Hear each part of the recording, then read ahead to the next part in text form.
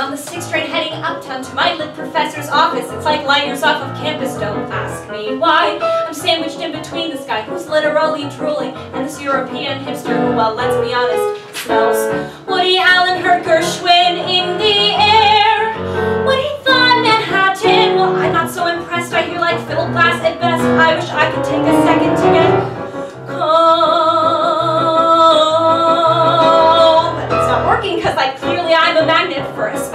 of psycho who thinks being weird's valuable use of time. And my notebook likes to wander on its own across the city, taking with it my whole thesis, which I need to write like now.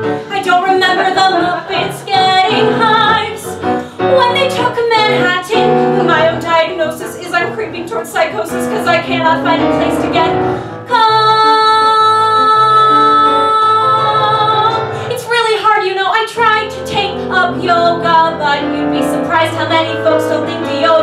Is zen.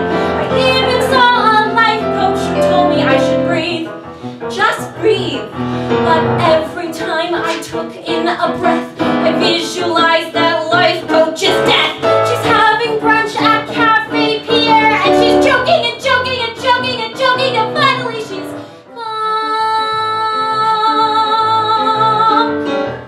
Oh. Anyways, I get to my professor's, and he sits me down and tells me that my thesis on Virginia Woolf is somehow false. I tell him what I'm writing from is not so much a thesis as the fact that she went crazy, and that seems, well, apropos.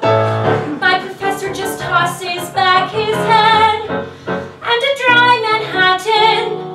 I'm wondering which will kill him quicker, the big apple or the liquor. When suddenly I panic and I tell myself I must get someplace calm.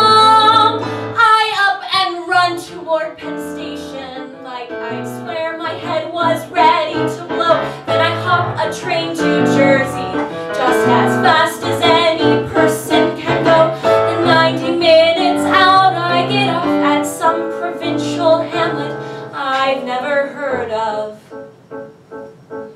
There's a real estate office right on the block.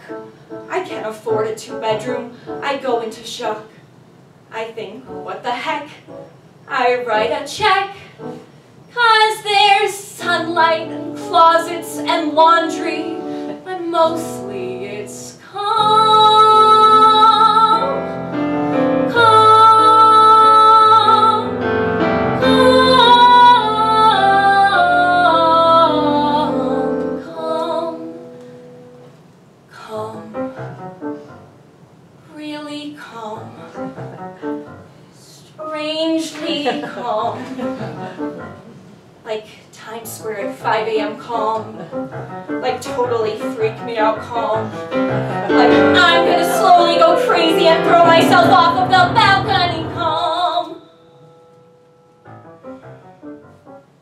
Damn it! So, I tear up my deposit and I head back to Penn Station. Of course, the subway's broken, so I walk four miles home. And like 14 hours later, I get back to my apartment, my crazy spastic roommates, and a room, well, of my own. I've got this black and white poster on my wall that says my Manhattan, and I give it the finger, but I let my gaze linger.